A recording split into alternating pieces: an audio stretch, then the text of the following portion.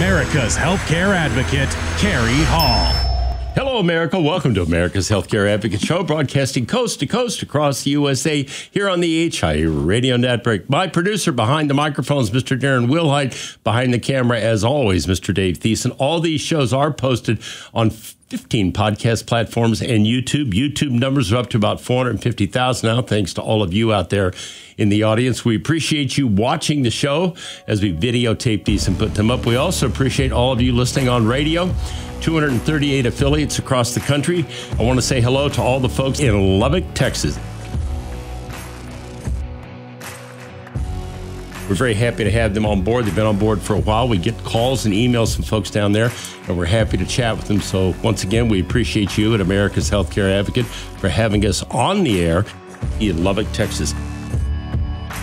If you're chronologically challenged and you're looking for Medicare insurance, whether it's a Medicare Advantage plan or Medicare Supplement plan, the lovely Carol Lee Steele at RPS Benefits by Design is happy to help you anywhere in the country. You can call them uh, at 877 385 2224. That's 877 385 2224. And if you're an employer looking for health insurance, Maria Allers at RPS Benefits by Design is the person you want to talk to. You know, I just spoke to her yesterday, and they just did a case for 400 McDonald's employees. So, and these are franchises, happen to all be in Texas, by the way that they are going to do health insurance for. So they can help you anywhere in the country, whether it's employer sponsored group health insurance or you're looking for Medicare, individual health insurance, ACA.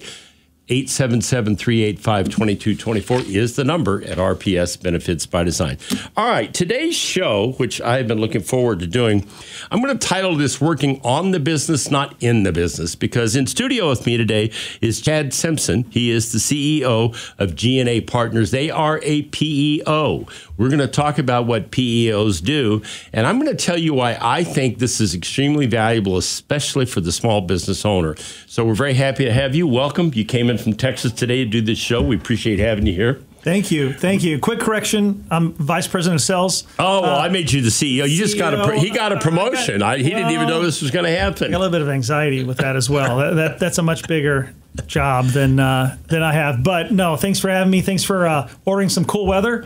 Yeah, yeah. It's a little hot in Texas. It, it is, but you know, it's August in Texas. If you live in Texas and you don't like the heat, you need to move. That's usually how it is here, but we're very fortunate right now. So yeah, hopefully, yeah, hopefully it'll stay that way. For and uh, you're going to eat some uh, Kansas City barbecue today. See how that compares to North to North Texas barbecue. We'll see. Yeah, yeah. I'll. Uh, I like it all.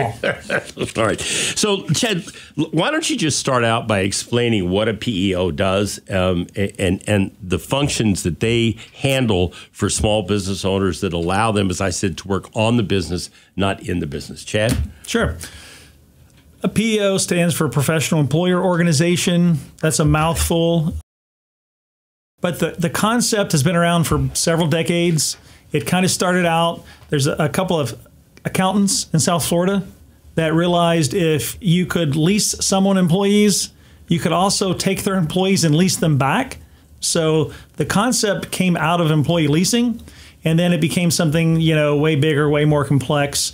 Um, and the primary goal of all of it was when you look at small businesses, you got to think about everything that a small business has to do, right? There, there's their core mission. So it could be a nonprofit, it could be a doctor's office, it could be a machine shop, right? They didn't get into business to be employers, but they typically have employees because by uh, law, the Department of Labor has a very narrow definition of someone that is an independent contractor. So in this day and age, most of the time, if you have a small business, you're going to be forced to classify people as employees. And when you do so, you get 180 federal employment laws, 180 plus federal employment laws, and there's state regulations, local regulations, there's tax issues, and everything that comes along with that. So for the small business owner, that can be very overwhelming. And so you can categorize, categorize them into three categories. They're either ignorant and willfully ignorant and have been you know in business for years and nothing bad has ever happened. They've been right? really lucky. They've been really lucky.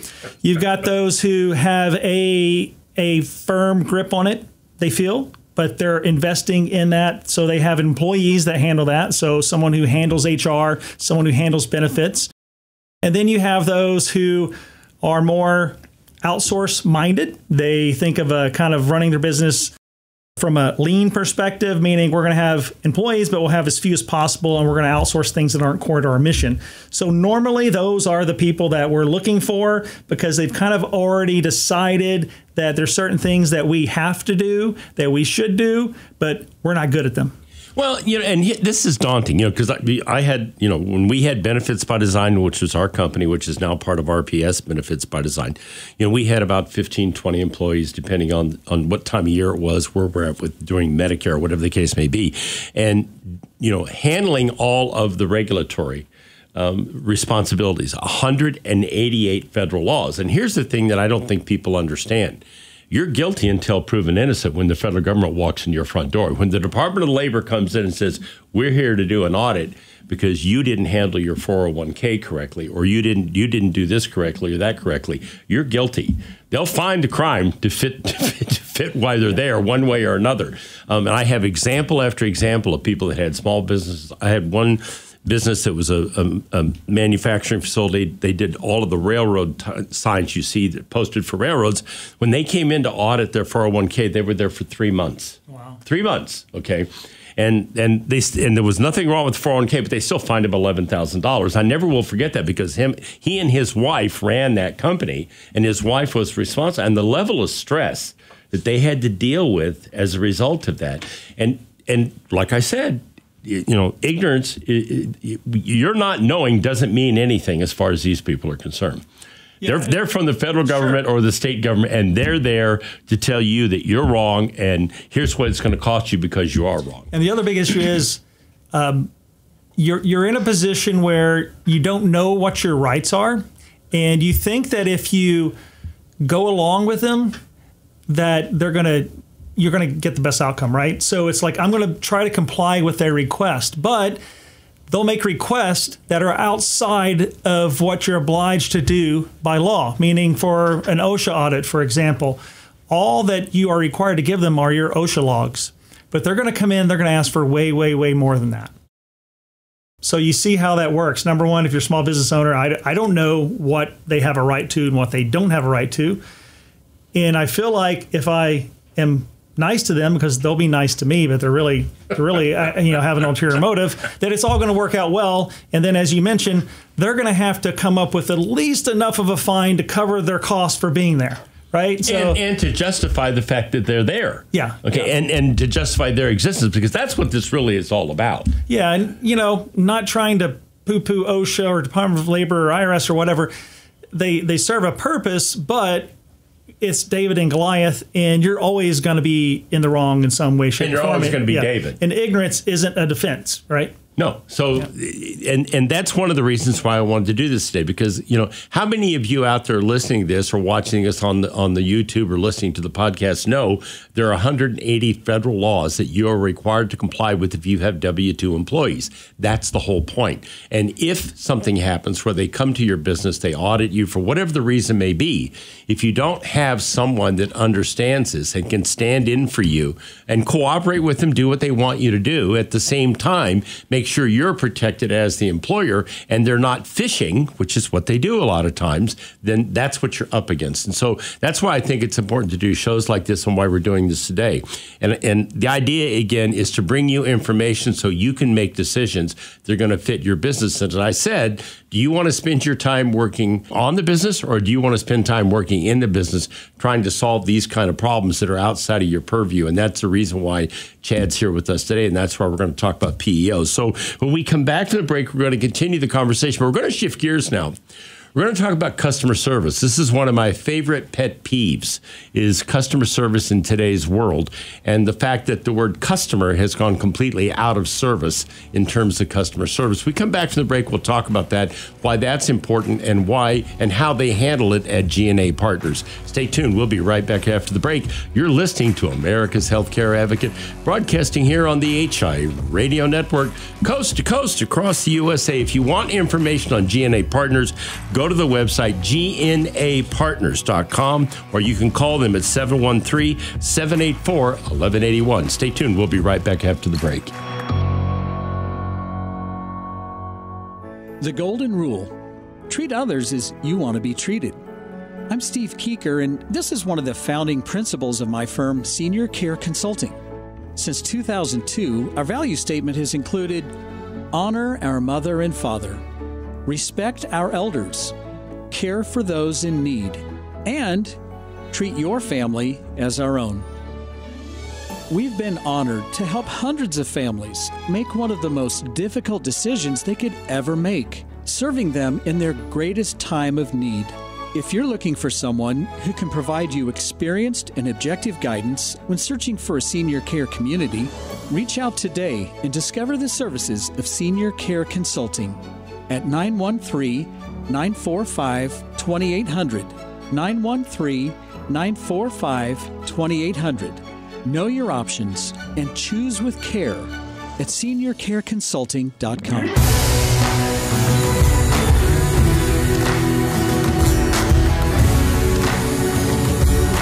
Welcome back. You're listening to America's Healthcare Advocate Show, broadcasting coast to coast across the USA. As I always say, all these shows are posted on the 15 podcast platforms. We're on Spotify, we're on Odyssey's platform, we're on iHeartRadio's platform. We're on a whole series of these things. Rumble, you name it, we're probably on all of them. So you can always get us on a podcast platform, America's Healthcare Advocate, or you can go to the YouTube channel and watch the show because Dave Thiessen, our producer behind the camera, puts all these together and they're up on the broadcast platform on YouTube. So you can actually see the show. So here's the deal. Maybe you're that small business owner and uh, you know you're the one that's struggling with these issues. You've got a partner. Instead of trying to explain all this to the partner have them go watch the youtube They'll get a real, they'll get an education, and we, we cut this thing down to about 38 minutes, 39 minutes when we put it up on YouTube. So you can do that. They can listen to it, and they'll get a clear understanding of what PEOs do, and most specifically what G&A Partners does. So in studio with me, Chad Simpson. He's the VP of uh, G&A Partners. They are a PEO. So in, in as I was getting, doing show notes this morning, about five o'clock in the morning, I'm going through your your list of things to talk about here. And on there is customer service. I'm like, oh boy, this is one of my favorite topics. So, you know, it's really funny because I, I say there is no service in customer service in this country anymore. It's like out the window. Example, I had to change some tickets on Delta Airlines this week. It took me an hour an hour after I went through at least five voice prompts because they want you to do a text chat. They want you to go online. I don't want to do it. I'm 75 years old. I'm not interested in doing a text chat or going online. I'm interested in getting a human being on the other end of the damn phone and telling them, here's my problem, help me fix it. Once I got to the customer service rep, they were amazing. Did everything I wanted done, couldn't have worked out better, sent me an email, had my itinerary in it, done deal. But to get there was like pulling teeth. To, How do you guys handle customer service? so that when people call, they actually get to talk to a real human being? Yeah, no, it's it's a great question, and it's something that I I've been thinking about a lot lately. Everyone talks about how great their customer service is, right? So it's it's something that no one believes anymore because their personal experience. It doesn't matter, and I think a lot of it happened after COVID. At least with me, I noticed that uh, because the, the economy just changed. Right. And so your your favorite local restaurant, it, it's never been the same since. And when you start to think about that, like G&A Partners has always prided ourselves on our customer service. Family owned business for 29 years. And when you think about, you know, a publicly traded company, there's a vote, right? The the street determines whether they're doing their job. If they hit their quarterly number, that's the vote. Does the stock go up or down? So when you have a, a, a privately held business, it's your customers that decide that, right? And if they or you're not in business, or you're not in business, and so when when we get referrals, that's the biggest indicator that we're doing a good job. Before I get into kind of how we objectively measure that, um, the reason I bring that up is we're in a business that's highly competitive. There are a lot of companies that do what we do. There's a lot of PEOs. There's a lot of companies that do payroll and, and just HR uh, outsourcing and things like that all of us say we're going to do a better job than the incumbent, or we're going to do a better job than you know somebody else that you're talking to. Um, but there's a major trust factor for that small business owner. So the small business owner, that's their baby, right? It's it's it's, game. it's everything. Most of them, a lot of them don't even have a retirement plan. Their retirement plan is I sell this business. Thank you. Right? So it's it's their everything. And we've got to convince them that we're going to take really good care of their baby. And that that's a that's a it's a big thing to overcome and, and build that trust. So we objectively try to measure that with our current clients. We have about 5,000 clients. We service about 100,000 worksite employees all across the country. Been doing that for 29 years. Um, but don't take my word for it, right? We want to be able to show them. So one of the things that we employ is called Net Promoter Score, NPS. And while most people haven't heard of NPS, Well, at least exactly what it is. Yeah. At least the consumers, though, when I explain it to them, like, oh yeah, so it, you know, it's really just a simple formula, but it can be as simple as um, happy or sad face when you go in the, the bathroom at the airport. Like I see that little screen, like was it clean or not clean, right? So all you're trying to do is get an up or down vote out of someone, and the the way we do it is we'll send out a survey via email and send to our clients and it says on a scale of 0 to 10 how likely are you to refer G&A to someone else? And if they want to complete the second question it's why okay? So there's a quantitative and then a qualitative. So really we're looking at the quantitative first and the way the formula works you take the percentage of promoters and a promoter has to be a 9 or a 10 so that bar is extremely high I don't know about you, but when I fill out a survey, if it's zero to 10, I'm thinking, yeah, maybe a seven or eight if you're pretty good, right? So to get a nine or a 10, that's an extremely high bar to start with. But the detractors, anything from a zero to six is a detractor. So more than 60% of the options are detractor scores that count against you. So we've got less than 20% of the options count for you, more than 60% count against you. The sevens and eights are considered passive. They get tossed out of the formula altogether. So to give you an example, if you had 100 respondents and you had 60 that gave you a 9 or a 10, you had 20 that gave you a 7 or an 8, you had 0 or 20 that give you a 0 to 6, your net promoter score would be 60% minus the 20% detractor. So you end up with a 40. So your net promoter score is a 40. That scale goes from minus 100 to plus 100 because you could get 100% negative or 100% positive. Okay? That was a lot of information, short amount of time. But the point of the matter is on a scale of 0 or excuse me, negative 100 to positive 100, a 70 is considered world class. So NPS is a universal thing. A lot of companies use it. Companies like USAA Insurance have 70 or above, world class. That is G&A's goal to be a world class service organization. We hit it occasionally, um, but we typically stay in the high 60s, which means that we're one of the best service companies in the world compared to others. And we're at the top of the echelon when it comes to POs. The part that's important about that is that you are you're measuring it, you're paying attention to it, and and it's not just something you're talking about. You're actually doing it. You've got a metric. We do the exact same thing at the Tego, the TPA that I own part of. Um, with my three partners based in Omaha, we do exactly the same thing. We have a giant tote board that's up in. When you go in our offices, it shows you how many calls are active, how fast they're being answered, how many are resolved, how many are being sent over to a claims manager, customer service. That's how. So we're doing the same thing you're doing. It's interesting because not a lot of companies do that. First of all, they don't want to pay for it okay, because it isn't cheap, okay. But secondly, the, the what comes out of that is you improve your staff. You know where you're having problems. Oh yeah, it's the the negative feedback is what we're seeking out. That's what you wanna find. We know we know what we're good at, but we we all have blind spots, Right. Right. So we can't improve unless we're getting the feedback. And I always say I would rather you tell me if I'm doing something wrong versus telling my competitor who's calling on you trying to convince you to leave me, right? I mean, we got to be honest with ourselves, and then we can improve upon it. Yeah. And so that and, and that's critical. And so I think this is a big separator because the large PEOs that are out there don't necessarily do this. And they see, there's a lot of churn and a lot of turnover. I've been, you know, a recovering broker for 26 years now, and I've worked with a lot of PEOs, and I know how it works.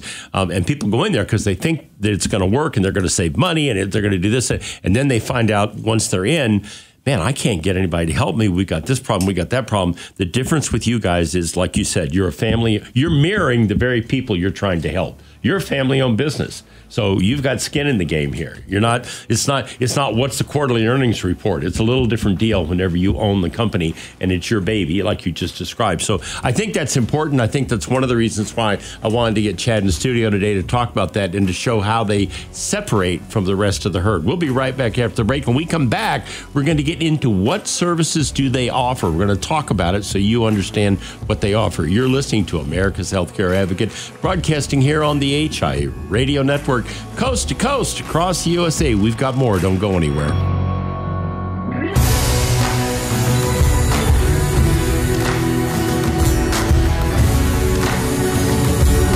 Welcome back. You're listening to America's Healthcare Advocate Show, broadcasting coast to coast across the USA. All these shows are posted on our 15 podcast platforms and on YouTube. If you're not listening on the radio today and you want to go up and search it out, America's Healthcare Advocate, also the website, americashealthcareadvocate.com. If you have a question, a comment, send me an email. I do answer each and every one of them. I get a lot of them, but I do answer them. So please feel free to send me an email if you have a question, comment. If I can help you with something, I'm happy to do that. Please feel free to do that.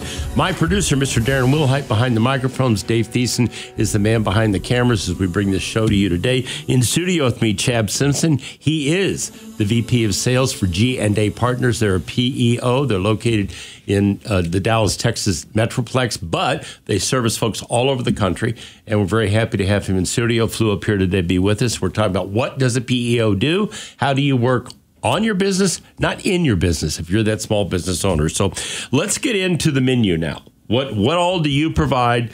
Um, how much of that do they have? You know, what do they have to buy to get in the door? How much of that it, it, can be all a la carte? You know, what are the services? So just kind of roll through that, will you, Chad? Sure. It can get a little bit confusing because it's a very saturated marketplace when it comes to HR outsourcing. There's companies that just do payroll, um, and there are hundreds of those. Yep. There are hundreds of PEOs.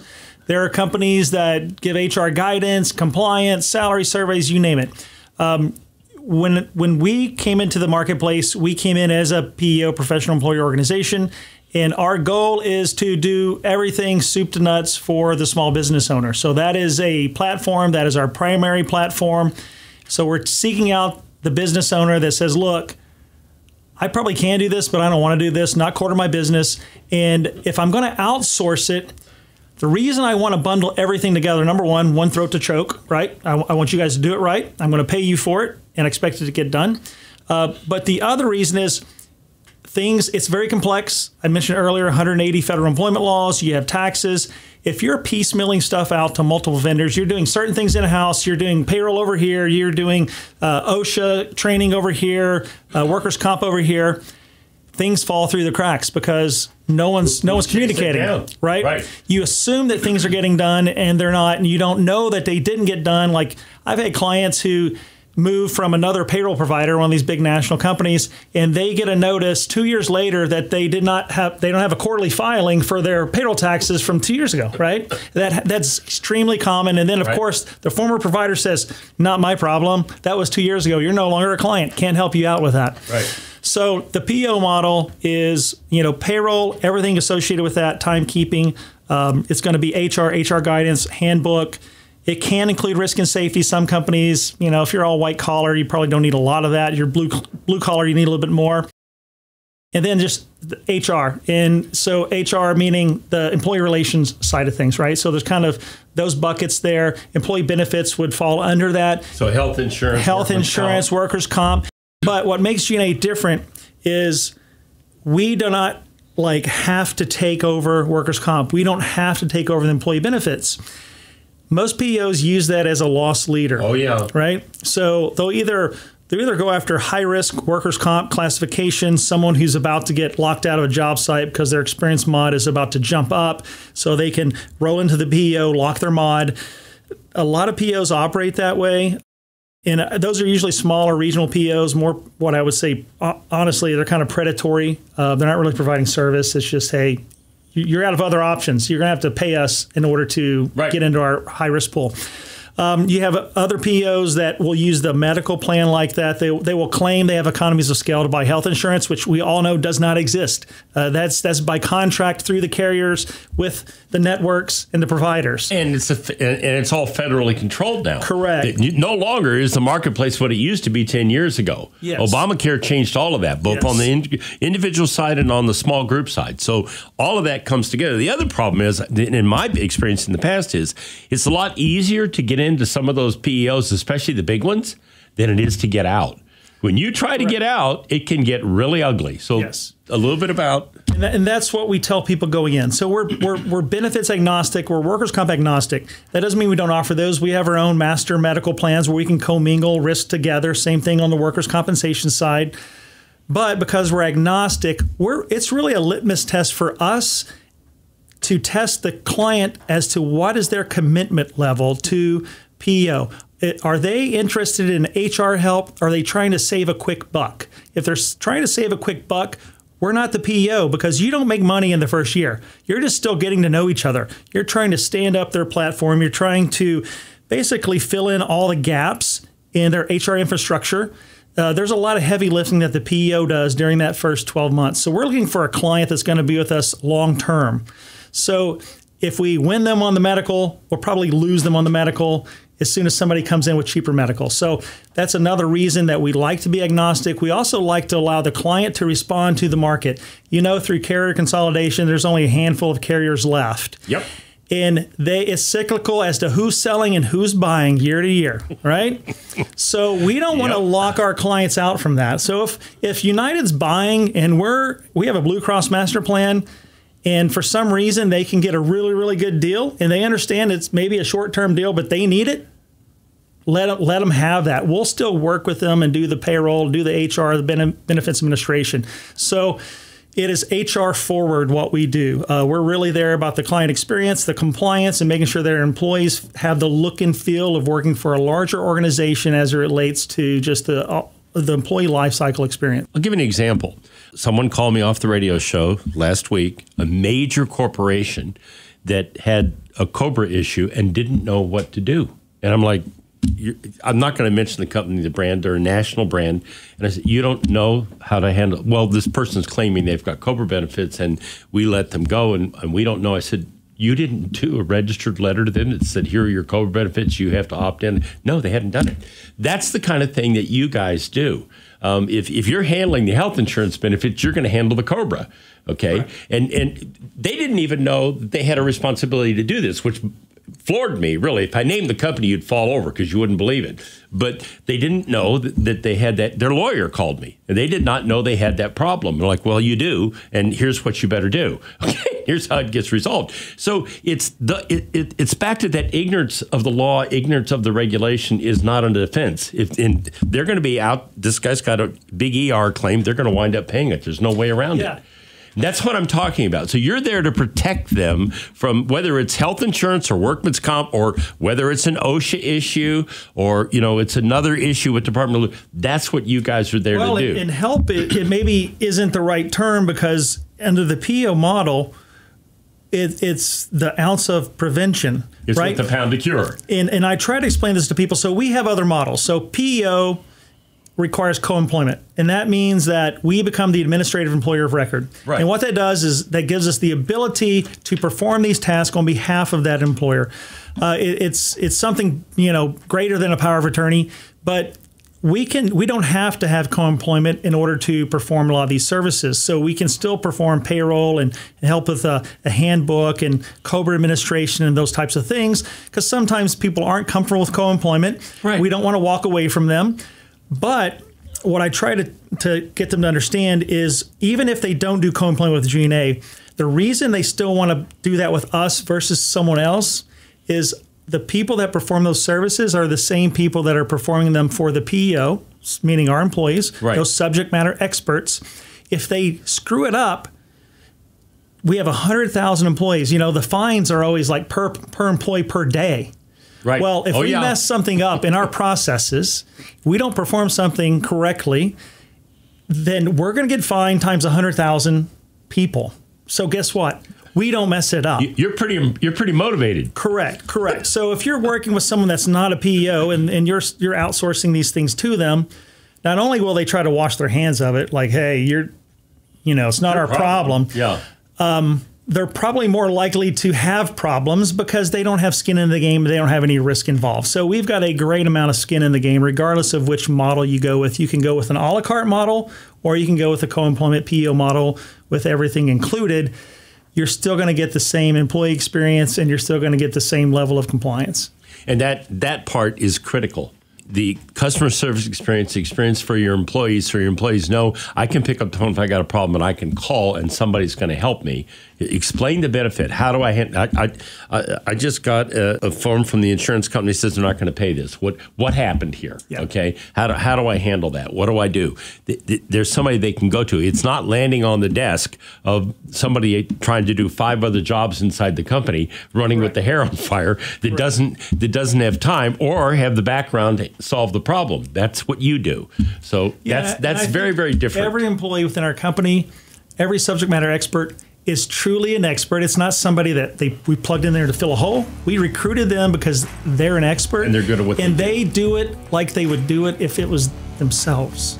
And that's what we're looking for. So if this sounds interesting to you, you want to find out more about these folks, the website is gnapartners.com, gnapartners.com. You can call them at 713-784-1181, 713-784-1181. They'll be happy to chat with you. Stay tuned. We'll be right back after the break. You're listening to America's Healthcare Advocate, broadcasting here on the HI Radio Network, coast to coast across the USA. We've got more. Welcome back. You're listening to America's Healthcare Advocate Show, broadcasting coast to coast across the USA here on the HIA Radio Network. If you have a question, if I can help you with something, go to the website, America's Healthcare Advocate. Send me an email. I will get back to you. If you're interested in learning more about these folks, G&A Partners, you can reach them on their website at gnapartners.com. That's G as in George, N as in Nora, A as in Adam, partners.com. Or if you're old fashioned, you want to call somebody and talk to somebody, they actually answer the phone there and they'll be happy to chat with you. 713 784 1181. 713 784 1181. They'll be happy to talk with you. You could actually ask for Chad if you wanted to talk to him. I'm sure he'd be delighted to chat with you. So let's talk about what is it, you know, where we see in on the on the TPA side and where we see the market having employers that are having the big biggest problem are typically employers running like 10 lives to like 150 They- they're they're not the conglomerates that have got you know like for example QuikTrip a great company totally self-insured they even have their own clinics all all over the country where they have employees that they service i've been to their i've been to their headquarters i've met with their people i actually did a little radio with them they got a great model well they're big enough they can do that but if you got 20 employees even if you got 100 employees that becomes a much more difficult process. So talk about how that what does your median mean employee look like? How does all that work with you guys? Sure. Great question. Um, and you always try to think, well, anytime you're trying to go to market with something, right, you got to figure out, you know, wh- what does your ideal client look like? What's your ideal client profile, the ICP? With PEO, i- it's it's kind of difficult. We already explained that they have to have an outsourcing mindset. They have to think about, well, is this is costing me money or making me money, right? Performing these functions in house. But from a size perspective, a lot of our clients are going to be probably under 20 employees. And because a lot of times we'll talk to companies and they'll say, well, we're not big enough for you guys. You know, I only have 15 employees, right? And we'll say, well, guess what? That's perfect because the way we price is per employee per check. Okay? PEPM. Yes. And, and so the beauty of that is if I have a client that has 100 employees, now granted that 100 employee client may get some discounting because of their size. Right. But they're still going to pay, you know, 10 times more than the client that has 10 employees Right. for the exact same service. They're identical service models. That's right? critical to understand that. Yeah, yeah. So when when you think about hiring someone, right, you, it's hard to hire part of a person. There's fractional HR consultants Oh, yeah. and things like that, but it's hard to hire, hire fractional people. So our ideal client is a small business who says, "Look, we need these things. Uh, we don't like running payroll through our accountant anymore." Uh, we, or the, we've run the nepotism well dry, right? I, I, I'm hiring people now that I don't really know a whole lot about. Yeah, because the second, third generation typically don't want to do the business. Yeah, These yeah. kids want to go off and do something completely Yeah, different. Exactly. So you're going to start hiring people who are virtual strangers. Um, so when you hire people that you don't really know a lot about, you're going to bring a lot of risk to the company, right? So they could report you to Department of Labor because you know they they think that they should be paid hourly and you have them as salary exempt. That's just one example. So if you look at those, you know, small employers, 15 employees in the past, you, you wouldn't think, well, I, I, really have a lot to worry about. But now, with the more regulations, the more that the small business owner, 88 federal, yeah, uh, yeah. So, and then if we if we look at the other other side of this thing, so we have a lot of clients in that you know 15 to maybe 25 employee space. Um, if you get into those employers that have 40, 50, 60 employees a lot of times they'll go hire someone because at that point, for forty, fifty thousand dollars, they, they can, afford it. They can afford it. They can find someone who claims that they're an HR professional. HR is, is a weird kind of job to have because a lot of the HR people they didn't get trained in HR. They they were put into HR, right? So they were an administrative person. They could have been working the front desk. This oh, is yeah. typical at a small business. They were hired as the receptionist, and five years later, they're the quote unquote HR person. They they've never had any HR training. They're just really good at onboarding and offboarding people. So we we we sell against that all day long, but you usually don't win that, right? They feel like, hey, we're, we're, we're comfortable. We have an HR person, have it covered.